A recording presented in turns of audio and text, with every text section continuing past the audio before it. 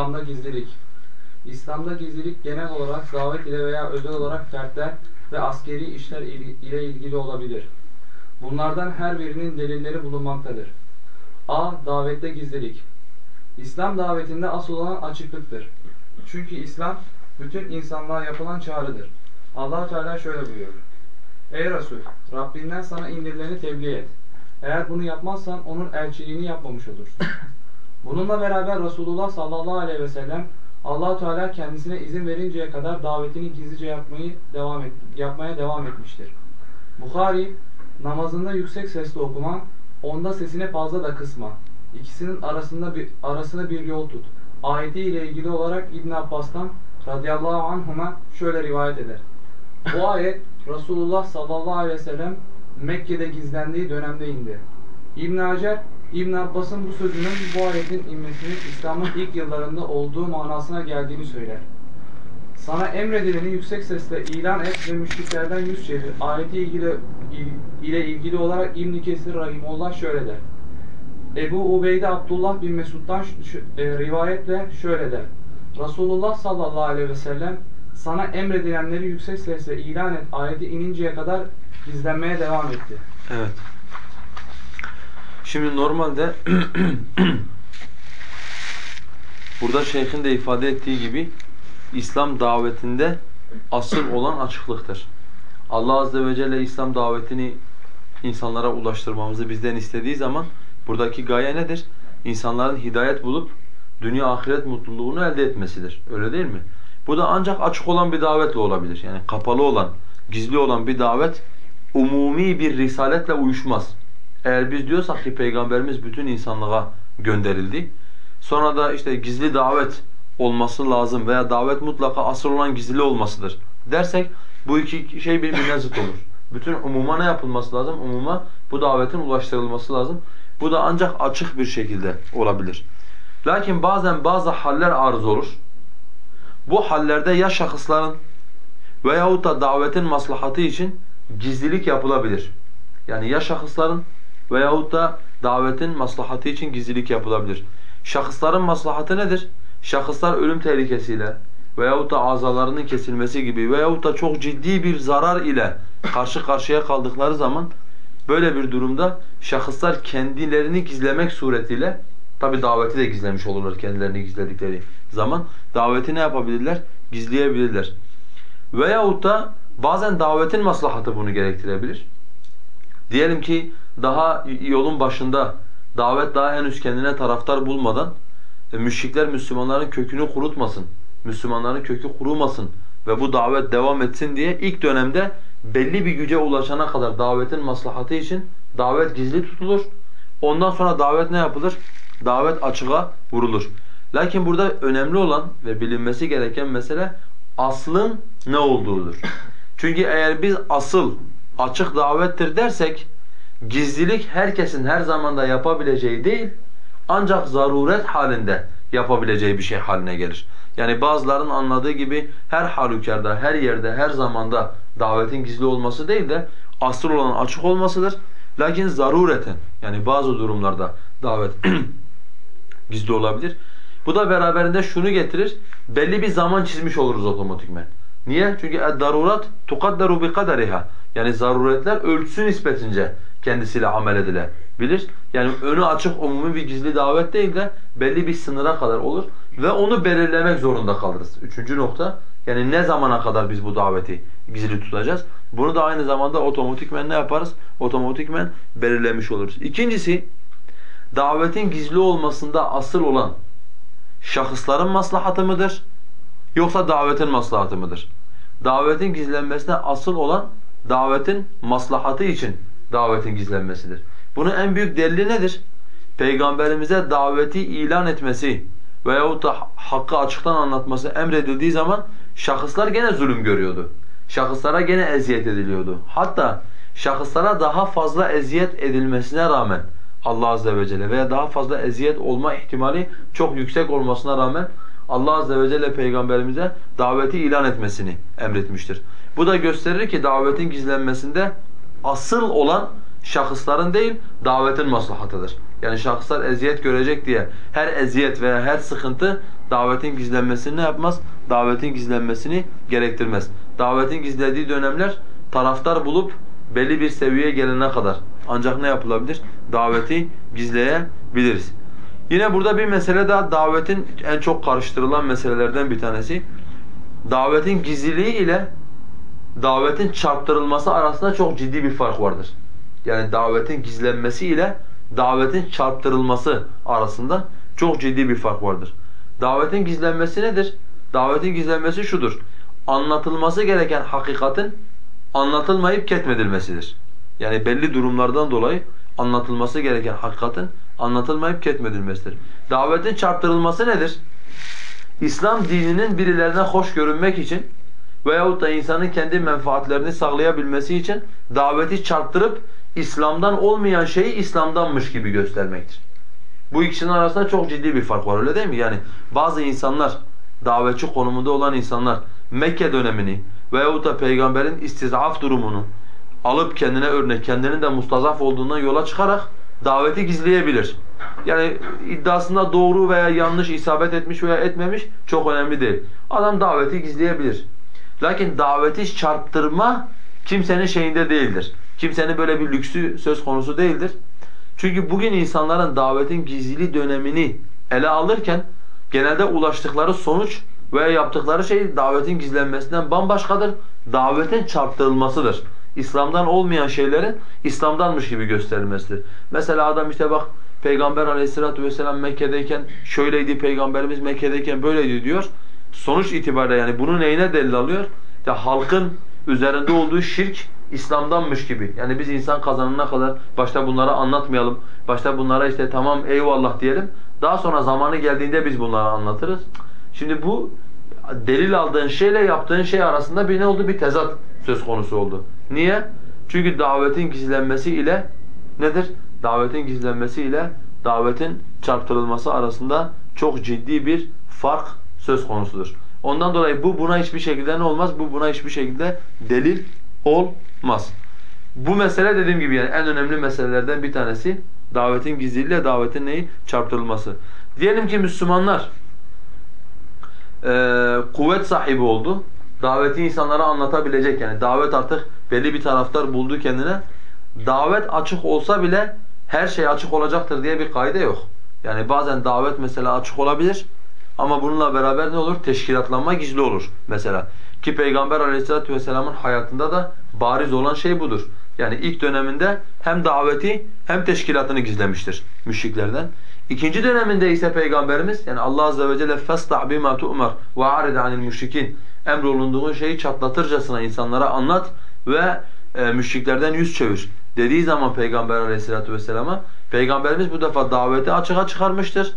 Lakin bununla beraber ne yapmıştır? Bununla beraber teşkilatını müşriklerden gizlemiştir. Ta ne zamana kadar? Ta devlet oluncaya kadar. Neden? Bu defa çünkü bunun korunmaya e, ihtiyacı var. Yani Müslümanlar, Müslümanların yapısı, Müslümanların ne yaptığı vesaire, ne yapacakları, ne yapmayı düşündükleri. Mesela Darül Erkam. Yani Peygamberimiz panayırlarda daveti çok net, açık bir şekilde insanlara ulaştırırken Darül Erkam gizliydi. Öyle değil mi? Yani Peygamberimizin insanları yetiştirdiği, eğittiği e, mekan gizliydi. Ondan dolayı yani davet açığa çıksa bile teşkilat ne yapılabilir? Teşkilat belli maslahatlardan dolayı gizlenebilir. Evet. B. Fertlerin imanlarını gizlemeleri. allah Teala şöyle buyurur. Firavun ailesinden olup imanını gizleyen bir mümin adam şöyle dedi.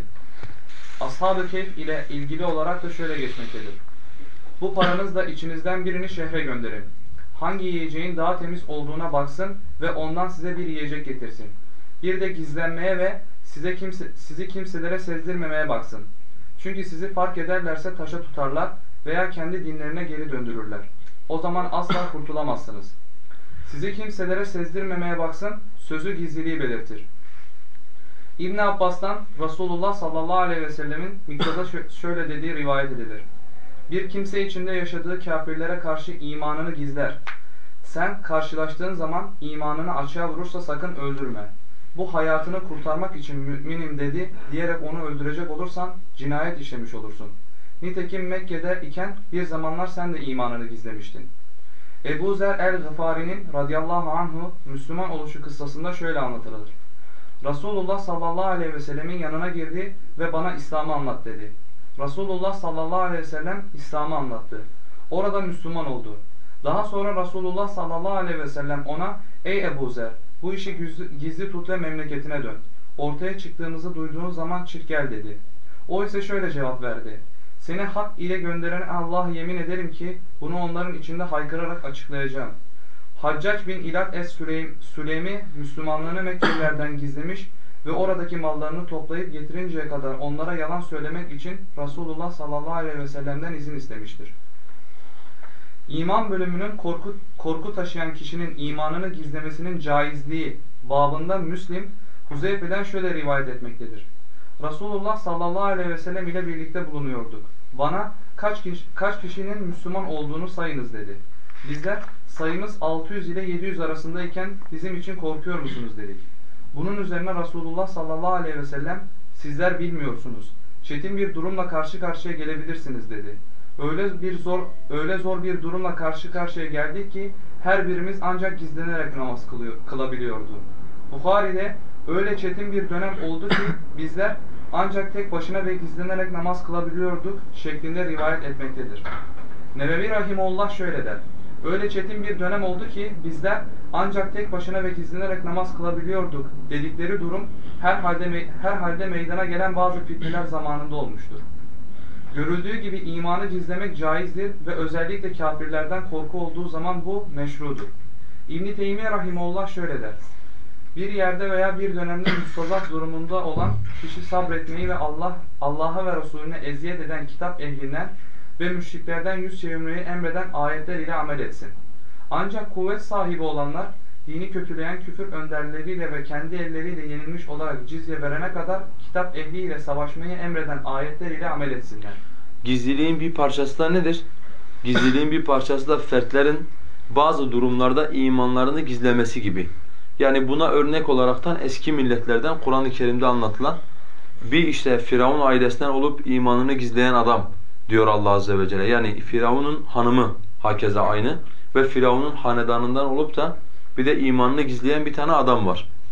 Bir de Ashab-ı Kehf kıssası var. Biliyorsunuz Ashab-ı Kehf uzun bir dönem kendilerini gizliyorlar.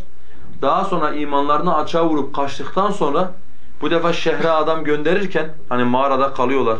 Uzun bir süre uyuyorlar. Uyuduktan sonra tekrardan kalkıyorlar. Bu defa şehre bir adam gönderirken ona bir para veriyorlar. Bu parayı alsın sizden biri diyor ve kendini gizlesin.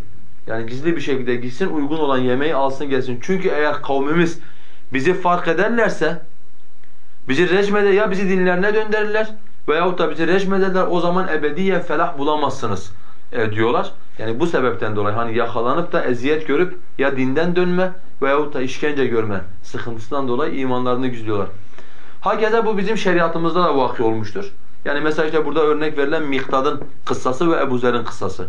Yani Peygamberimiz Miktad'a çok net bir şekilde sen de Mekke'deyken imanını gizliyordun diye. Onun için imanını gizleyip imanını açığa vuran bir adamı sakın öldürme. Hani bu olabilir.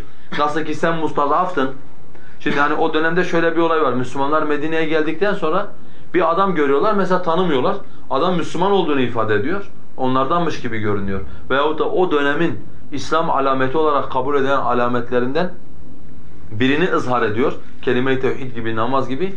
Sahabe hemen diyor ki yok bu korktuğundan dolayı yaptı diyor. Tutuyorlar bunu vuruyorlar e mesela. Bu biliyorsunuz daha önce de e, sahaben selam veren adamı öldürdükleri gibi daha önce de başlarına geliyor. Peygamberimiz burada miktada şunu anlatmaya çalışıyor. Nasıl ki bir dönem sen Mekke'de imanını gizliyordun. Hakeza senin gibi şu anda kavminin içinde mustazaf olup da imanını gizleyenler olabilir. Ondan dolayı imanını her açığa vuranı tanımadığın zaman kafirmiş gibi şey yapma. Yani kafirmiş gibi korkuyor diye, senden korktu diye imanını ızhar ediyor diye düşünme diyor mesela. Ve Ebu Zer'in kıssası. Yani Peygamberimize iman etmeye gelince Ebu Zer, Peygamberimiz Aleyhisselatü Vesselam git memleketine dön. Ne zaman bizim zuhur ettiğimizi, yani hani bir kuvvete ulaşıp artık açıktan iş yaptığımızı duyduğun zaman o zaman gel ey Ebu Zer diyor. Tabi Ebu Zer bunu kabul etmiyor. Yani ben vallahi gideceğim onların içinde e, iman ettiğimi haykıracağım e, diyor. Yine hakeza çok daha sonraları için bir örnek. Yani hani bu belki biri diyebilir bu Mekke dönemindeydi ondan sonra ortadan kalktı e, gibi. E, Peygamber Aleyhisselatü vesselam bir gün Medine'deyken bana Medine yani bana insanları sayın ve yazın e, diyor. Bazı rivayetlerde 600-700 bazı rivayetlerde 1500 kişiyi e, yazıyorlar. Tabi bu çelişki olmaz. Niye? Çünkü belki birbirinin kastettiği sadece adamlardır. Bir öbürünün kastettiği adamlar, kadınlar, çocuklardır. Veya birinin kastettiği sadece Medine'deki adamlardır. Öbürünün kastettiği Medine ve civarındaki adamlardır. Tabi sahabe şaşırıyor ya Resulallah diyor. Yani sen biz hani 600-700 kişi olmuşken mi sen bizim üzerimize korkuyorsun diyor. Peygamberimiz diyor öyle haller olacak ki yani öyle haller gelecek ki siz gizlenmek zorunda kalacaksınız. Gizli bir şekilde namaz e, kılmak zorunda kalacaksınız. O kadar kötü duruma geleceksiniz. Tabi sahabe şaşırıyor hani İslam devleti kurulmuş, adalet var. Yani niye Müslümanlar kimden korkacak ki? Ama Peygamberimizin vefatından henüz 20 sene geçmeden biliyorsunuz işte Hz. Osman döneminde vakı olan fitneler ve Hz. Osman'ın akabinde, Hz. Ali'nin akabinde vakı olan fitnelerde işte mesela Velid İbni Ukbe gibi bir adam vali olarak Medine'ye geliyor. Bu adam içki içip gelip namaz kıldırıyor. Sahabe ne yapıyor? Gidiyorlar önce namaz tek başlarına kılıyorlar gizli bir şekilde fitne olmasın diye. Sonra gelip camide namaz kılıyorlar. Tabi o dönemde hani herkes gelip mescitte namaz kılmak zorunda olduğu için yani valinin arkasında namaz kılmamak onu tekfir etmek anlamına. Hani onu Müslüman görmemek anlamına gelir. E bu adam fasık sadece. Bu da fitneye ve belbeleye sebebiyet verir.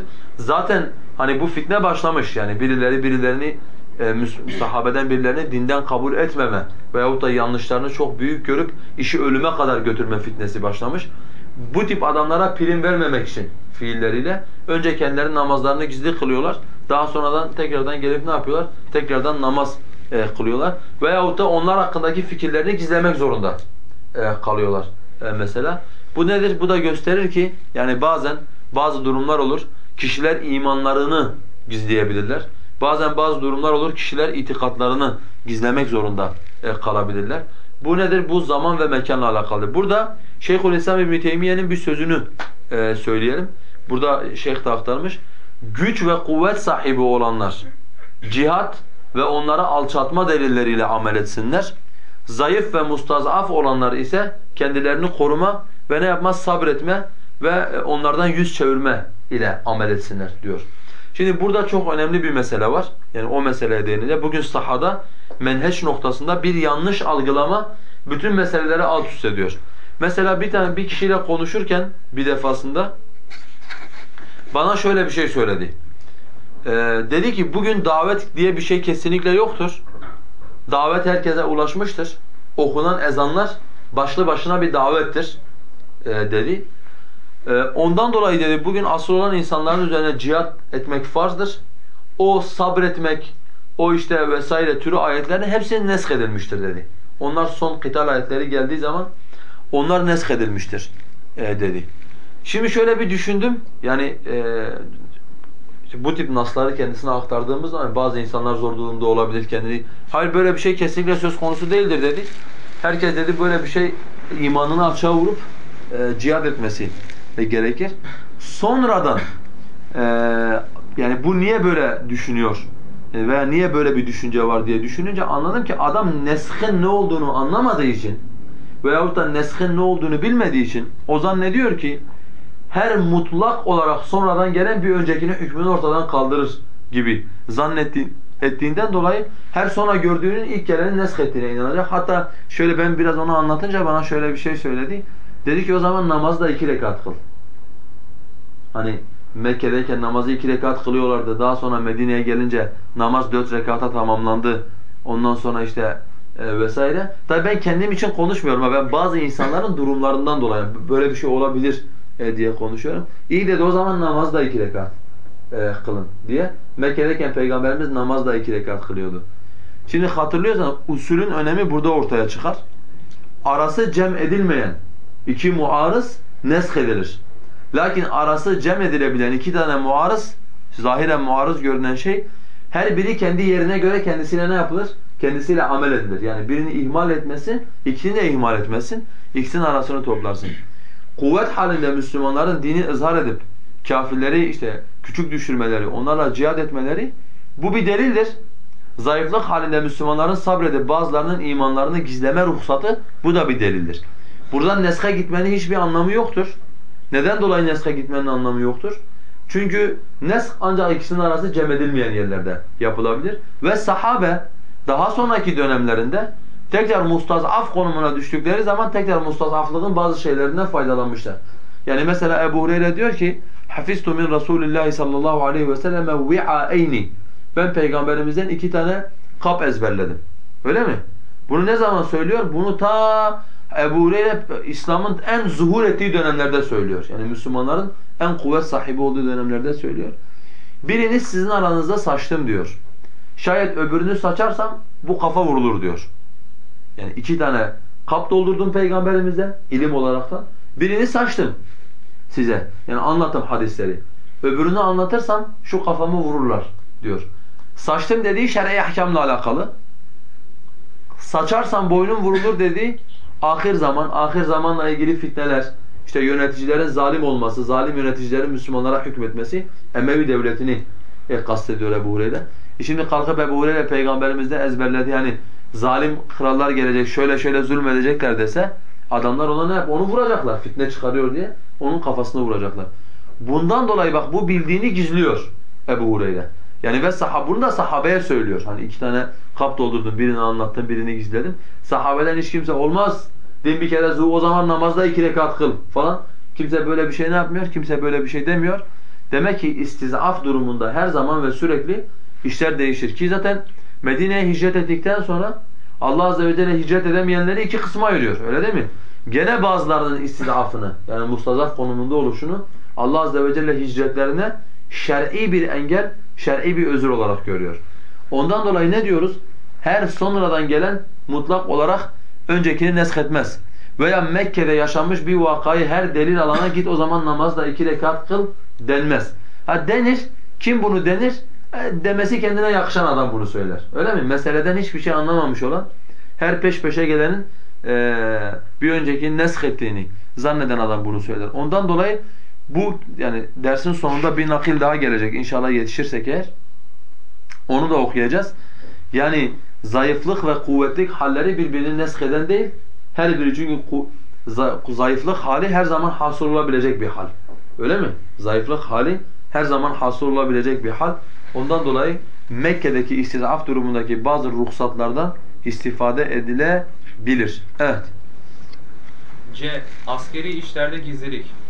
Davette asıl olanın açıklık olduğunu ve gizliliğin ise istisnai bir durum olduğunu belirttik. Askeri işlerde ise durum bunun tersidir ve dolayısıyla da gizlilik esastır. Bilgiler, sırlar ve manevralar, manevralar ne kadar gizli olursa o kadar iyidir.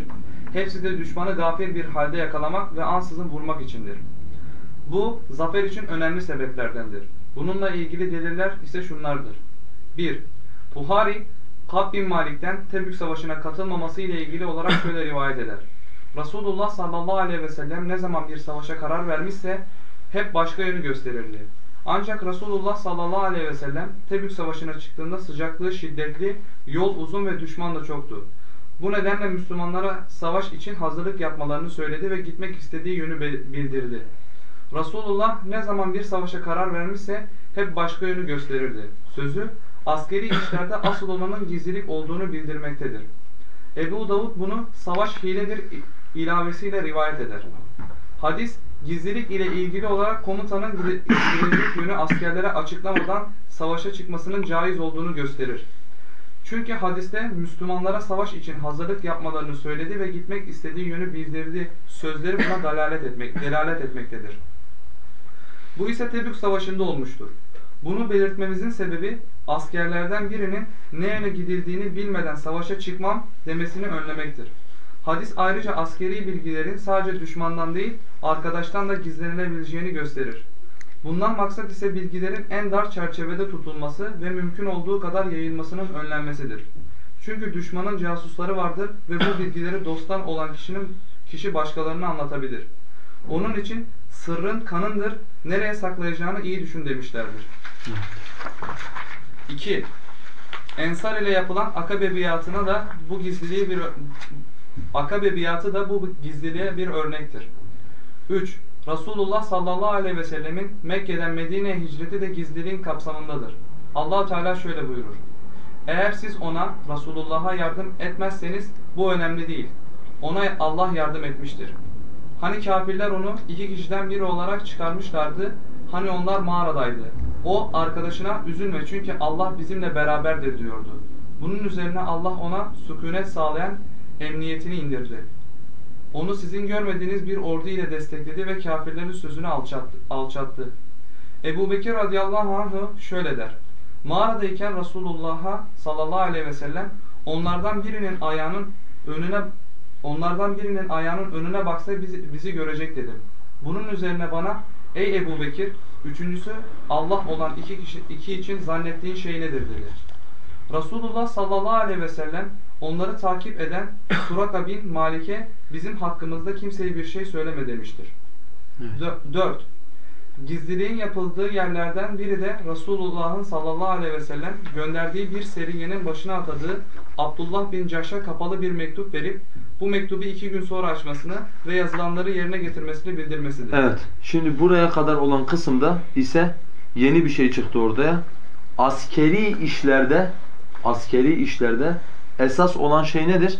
Esas olan şey gizliliktir. Yani nasıl ki davette asıl olan açıklıksa askeri işlerde asıl olan gizliliktir. Askeri işlerde asıl olan gizlilik olduğu gibi askeri, askeri işlere yani cihada hazırlık konumunda olan tüm meselelerde de asıl olan gene nedir? Asıl olan gizliliktir.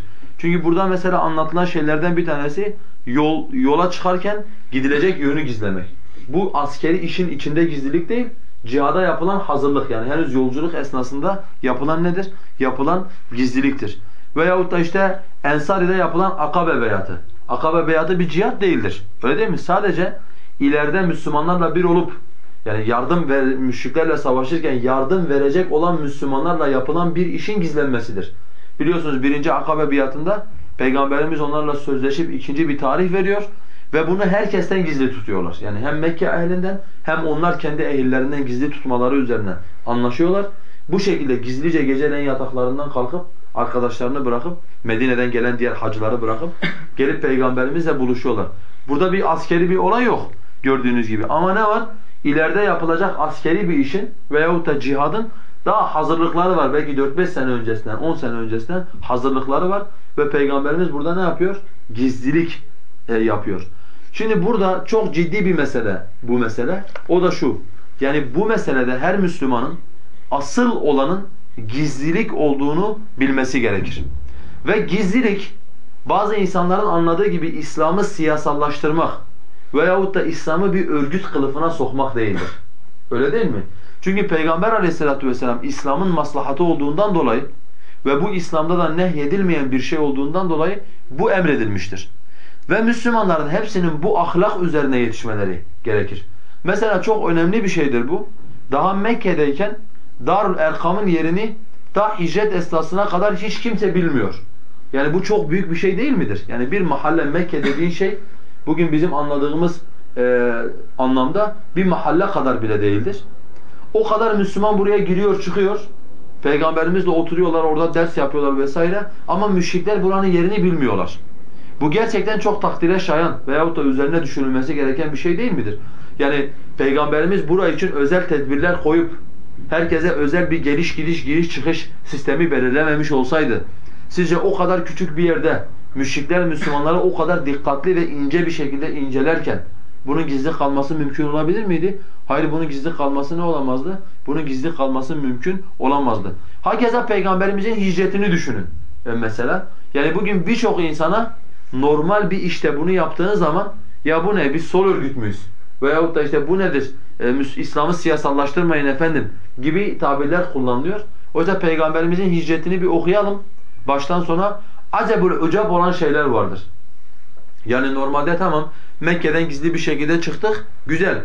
Ama Peygamber Aleyhisselatü Vesselam'ın yolla ilgili bazı şeyler yapması, geriden işte bazı şeyler Hazreti Ali'yi kendi yatağına bırakması, birine işte sen gel koyunlarla bizim yürüdüğümüz yollarda yürü demesi, diğeri kendilerine yemek getiren ayak izlerini sildirmesi mesela. Bunlar hepsi nedir? E bunlar hepsi Peygamber Aleyhisselatü Vesselam'ın bir iş yaparken çok ciddi düşündüğü ve bütün ihtimalleri göz önünde bulundurarak yaptı. Hakeza Akabe beyati de bunun gibidir. Yani Akabe beyati normalde bak Peygamberimiz bir kendisi kavminden gizli bir şekilde bazı insanlarla bir sonraki buluşmayı ayarlıyor. Sakın ha kavminiz benimle görüştüğünüzü bilmesin. Gizli bir şekilde kalkın gelin diyor ve bu şekilde bunu ne yapıyor? Bu şekilde bunu ayarlıyor. Bu nedir? Her Müslümanın ferdi olaraktan yani derdi davet olan, derdi dava olan, derdi Allah için mücadele olan her Müslümanın bu bilinç üzerine yetişmesi e, gerekir. E şimdi mesela e, burada yine çok ciddi bir meseleye geliyoruz. Yani gizliliğin insan fıtratıyla aykırı olan bazı durumlar var. Neden? Çünkü insan fıtratı gereği meraklıdır. Yani insanoğlu fıtratı gereği meraklıdır. Meraklı olması hasebiyle de çevresinde yaşanan olayları bilmek ister. Yani ne olduğunu, kim ne yapıyor, kim ne konuşuyor vesaire bunu bilmek ister. Ne yapıldığını öğrenmek e, ister. Veyahut da bir yola çıkmış adam. Yani seninle beraber mesela bir yola çıkmış, ölüm var işin ucunda, zorluk var işin ucunda. Adam yolun bütün tafsilatını doğal olarak bilmek istiyor. Fıtratı e, gereği böyle. Ama Peygamberimiz böyle olmasını istemiyor. Bu ikinci mesele yine insan fıtratına aykırı olan yönü ise bir merak, yani insanın fıtratına var olan meraka aykırıdır. İki, güvensizlik duygusuna insanı. Her insan bir iş yaparken kendine güvenilmesini ister. Bir şeyin kendinden gizlendiğini gördüğü zaman insan kendine güvenil yani bana güvenilmiyor hissi insanda doğar ve bu da insana o bilgiyi öğrenmeyi veya o gizli olan şeyi açığa çıkarmayı ister veyahut da gizleyenlere karşı kalbinde bir şey oluşur. Bu ikisi de normalde yanlıştır. Şimdi Tebuk gününe kadar Peygamberimizin sahabesinden gideceği yönü gizlemesi, Peygamberimizin sahabesine güvenmiyor anlamına gelebilir mi? Yani böyle bir şey söylenebilir mi? Hani Peygamberimiz sahabeden bunu gizliyordu. Çünkü Peygamberimiz sahabeye güvenmiyordu. Asla. Peygamber aleyhissalatu vesselamın bunu sahabeden gizlemesi, Peygamberin yeryüzünde en güvendiği insanlar sahabeydi. Davetin maslahatı içindi. Olur. Yolda diyelim bir tane Müslümanı müşrikler alır götürür. işkence yapar, konuşturur. Bak senin bilmemen gereken veya en son anda bilmen gereken meseleyi başından bilmenin hem Müslümanlara hem sana zararı oldu. Öyle mi? Durduk yere Müslümanlara zarar verdin. Ama sen son anda o bilgiyi, öğrenmen gereken yerde o bilgiyi öğrenirsen eğer, adam seni öldürse bile bilmediğin şeyi nasıl anlatacaksın adama? Öyle mi? Demek Peygamberimizin sahabeden bir şeyler gizlemesi, sahabeye güvenmediğinden dolayı değildir. Davetin ve İslam maslahatı içindir. Bugün de bu böyledir. Yani sahada bazı Müslümanların bazı Müslümanlardan bir şeyi gizlemeleri o Müslümanlara o Müslümana güvenmedikleri anlamına gelmez hiçbir şekilde. Adam güvenmese seninle aynı yola çıkar mı? Zaten sana güveniyor ki seninle aynı yola çıkmış adam. Ama senin bilmemen gereken bir mevzuyu bilmemen daha iyidir. Bu aynı zamanda seni töhmet altında bırakır. Yani mesela örnek veriyorum Müslümanların gizlenmesi gereken bir meselesi var. Bilinmemesi gereken bir mesele. Bunu bir tek sen biliyorsun. Sadece sen biliyorsun. Yarın öbür gün bu haber yayıldı. Bu birçok sebepten olabilir. Yani Allah düşmanları seni dinleyip bu haberi elde etmiş olabilir. Seni izleyip bu haberi elde etmiş olabilir. Hiç ummadığın bir yerde sen konuşurken kapıdan bir başkası duyup bunu insanların arasında yaymış olabilir. Şimdi bu yayıldığı zaman bunu ben yaymamışsam otomatikmen kimden şüpheleneceğim? Kim töhmet altında kalacak? Mevzuyu bilen sen töhmet altında kalacaksın. Yani bunun sana da faydası var aynı zamanda. Hani bir insanın bilmemesi gereken bir meseleyi bilmemesi insana da faydası var. Töhmet durumunda insan ne altında kalmaz? İnsan töhmet altında kalmaz. Ama maalesef e, dediğimiz gibi yani hem e, bunun sahadaki zararları da ortadadır. Yani bunun sahadaki zararları da ortadadır. Yani bugün mesela Türkiye için konuşalım biz. Türkiye'deki İslami cemaatler hiç kimsenin bilmemesi gereken meseleler en basit beş para etmez insanların dilinde e, sigaralı ve çaylı ortamların muhabbeti olmuş durumda Türkiye'de. Öyle değil mi? Yani normalde elinde sigara, öbür elinde çay beş para etmez. Yani normal ne İslam literatüründe ne halk literatüründe. Yani İslam'ı bir tarafa bıraksak hani insanlık vasfını yitirmiş insanların ağzında Türkiye İslami hareketin İslami hareket derken bütün cemaatleri kastediyorum. Müslüman olan olmayan, kendini, İslam, kendini İslam'a nispet eden herkes en mahrem meseleleri bakıyorsun en beş para etmez insanların ağzında çaylı sigaralı sohbetlerin şeyini süslüyor e, muhabbet konusu söz konusu. Tabi bu insanların bunları bilmesi demek e, bilmemesi gereken daha başka yerlerin de bunu biliyor e, demektir. Yani bu insanlar eğer bunu biliyor ve konuşuyorsa hiç bilmemesi gereken insanlar da bunu ne yapıyorlar? Biliyorlar demektir. Ve bu konuda gerçekten yani bu gizlenmesi gereken ve söylenmemesi gereken, bilinmemesi gereken şeyleri söylemenin tehlikesi öyle basit bir tehlike değildir. Yani mesela eee Allah Resulü Beni Kureyza ile ilgili hükmünü beyan ettikten sonra biliyorsunuz bir tane sahabe eee, şeye çıkıyor, eee, Yahudilerin yanına gidiyor. Yahudiler soruyor diyor Muhammed'in bizim hakkımızdaki hükmü nedir? O da şey yapıyor, şöyle yapıyor. Yani sadece eliyle boğazına işaret ediyor bu kadar. Ağzından tek kelime çıkmıyor. Bu olayın üzerine hangi ayet-i kerime iniyor? emanatikum ve entum ta'lemun. Ey iman edenler Allah'a hıyanet etmeyin. Resulüne hıyanet etmeyin ve kendi emanetlerinize bile bile ne yapmayınız? Hıyanet etmeyiniz diyor. Yani bak adam bir şey yapmamış. Zaten bir saat sonra öldürülecekler adamlar görecekler zaten cezayı. Öyle mi? Şimdi bizim mantığımız olsa mesela düşünürüz ya bunu söylesem ne, söylemesem ne? Zaten bir saat sonra adam öğrenecek Allah'ın kendi hakkındaki hükmünü. Yani bir saat sonra adamın kafası vurulacak zaten. Yahudiler için e, söylüyorum. E, Ben söylememişim ki zaten elimle şöyle yapmışım sanki ima etmişim. İma edene bu ayeti indiriyor Allah. Ey iman edenler Allah'a, Resulüne ve kendi emanetlerinize bile bile hıyanet etmeyiniz diyor. Yani Müslümanlar bugün e, biraz düşünseler aslında çok büyük hainlikler içerisindeler. Yani söylenmemesi gereken, bilinmemesi gereken şeyleri çok rahat bir şekilde insanlar muhabbetlerine konu yapıyorlar. Yani mesela benimle ilgili veya seninle ilgili bir durum var. Sen bunun gizli durmasını istiyorsun. Veyahut da İslami cemaatle bir herhangi bir cemaatle ilgili bir durum var. Benle sen oturup konuşuyoruz bu meseleyi. Arkadaş bu Müslümanların meselesidir. Umuma taalluk eden bir meseledir.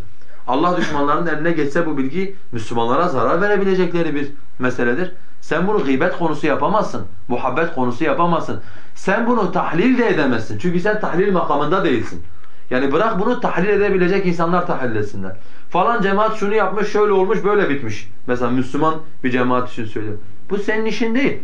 Bırak bunu tahlil edebilecek, hatayı beyan edebilecek, hatanın çözümünü getirebilecek olan insanlar yapsınlar. Veya fesadı önleyebilecek insanlar e, bunu yapsınlar. Ondan dolayı bu mevzu, yani bu gizlilik mevzusu basit bir mevzu değil. Bütün Müslümanların dikkat etmesi ve üzerinde düşünmeleri gereken mevzulardan ne? Mevzulardan bir tanesi. Ve asla insan bu konuda şeytana uyup fıtratında var olan merakı harekete geçirip bilmemesi gereken bilgilerin peşine düşmemesi lazım. Çünkü bu hem Müslümanlara zararı var hem de bir töhmet durumunda insanın bizzat kendisine bunun zararı vardır.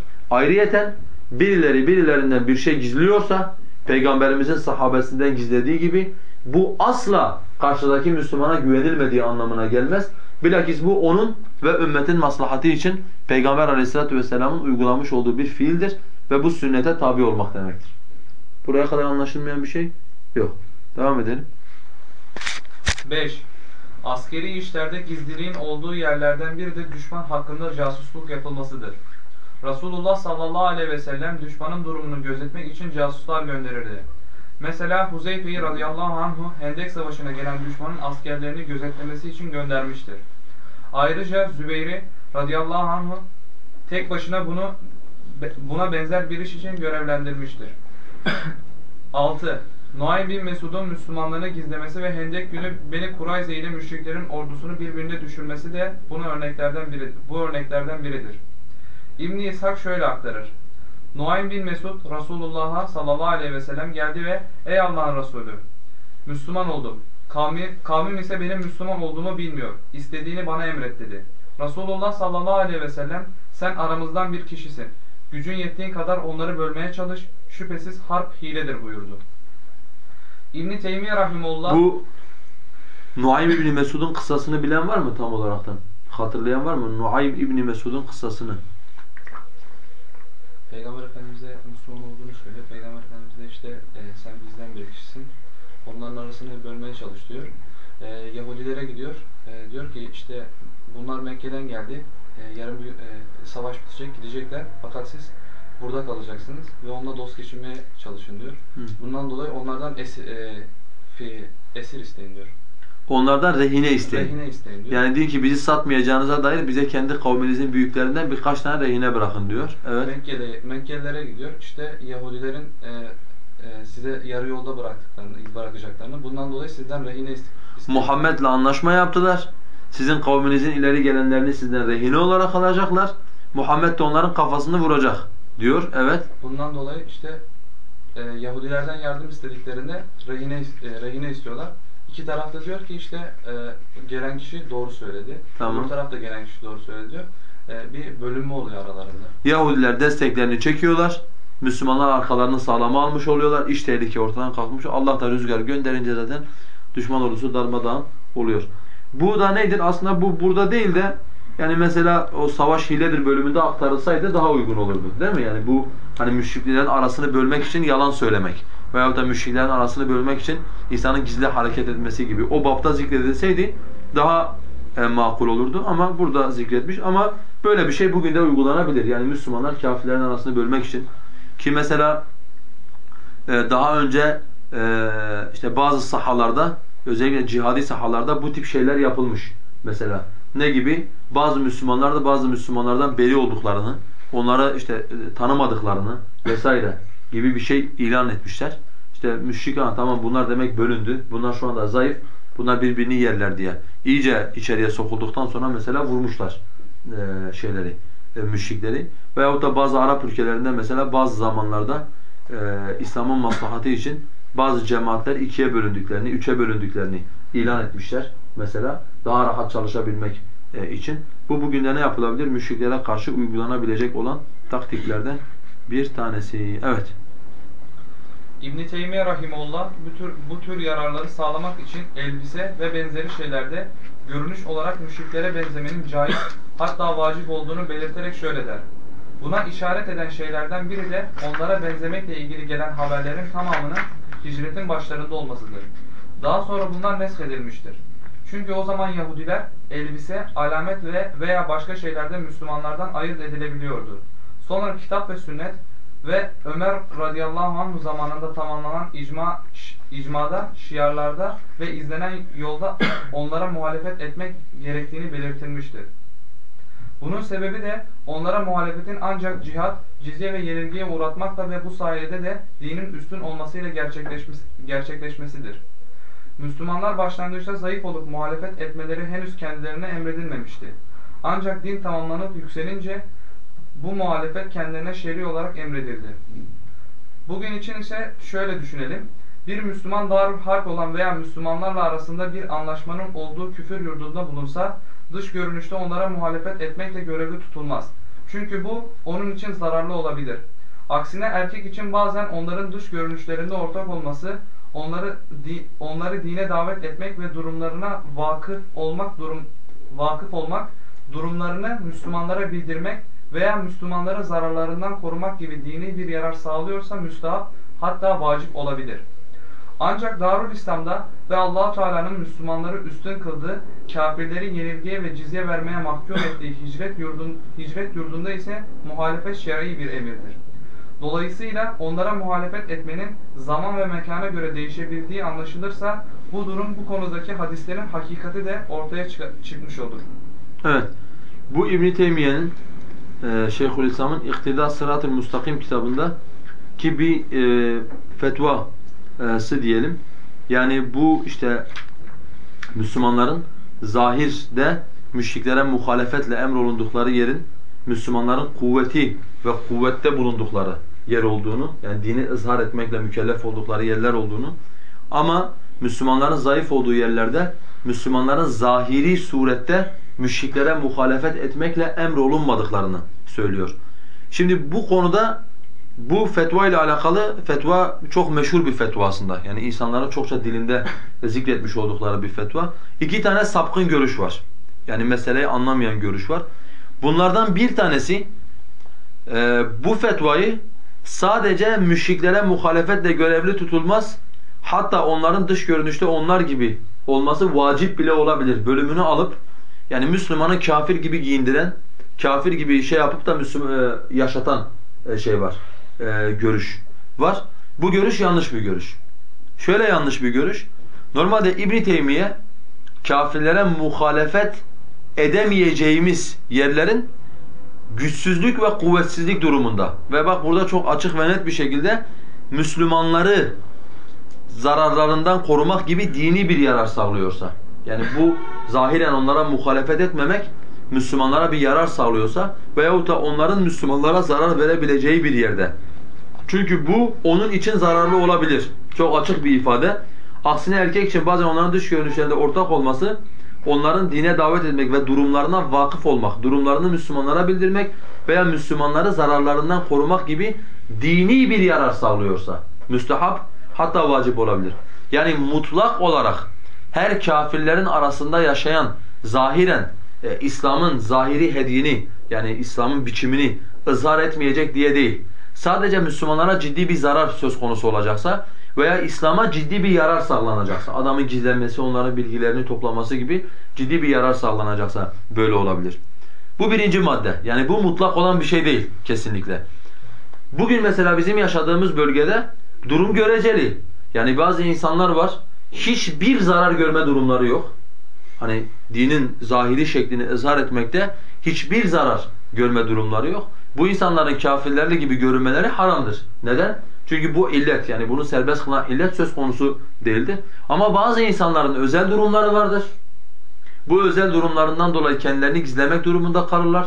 Ve bu sebeple de işte bazı dış görünüşte e, İslam'ın hediyeni izhar ne yapmazlar? Etmezler. Ama bu bir zarurettir. Bu nedir? Bu bir zarurettir.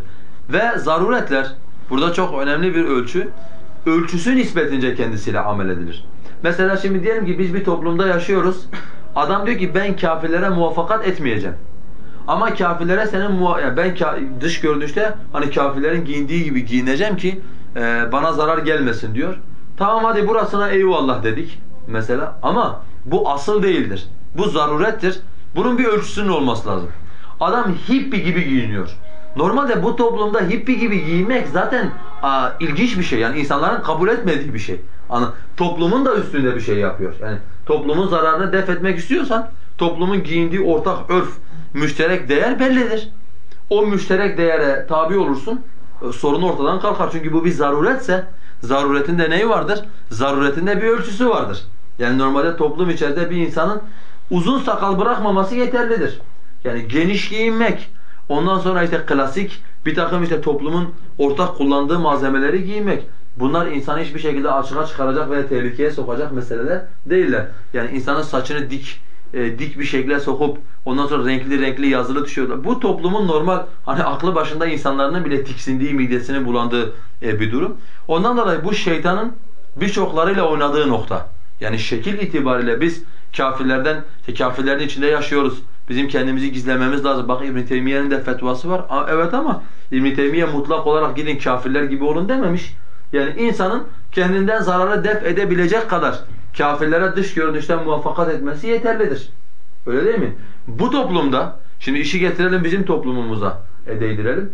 Bizim toplumumuzda bazı insanların anladığı ve uyguladığı şekil kafirlerin bile anladığı şekil. Yani adam normal bir mahallede gittiğin zaman müşriklerden bile dikkat çekiyor. Daha fazla müşrik gibi görünüyor. Yani müşriklerden daha fazla müşrik e, gibi görünüyor adam. Bu kesinlikle caiz olan bir şey ne değildir? Değildir. Çünkü zaruretler ölçüsü nispetince kendisiyle amel edilir. Olabilir bir Müslüman böyle bir durumu söz konusu olabilir.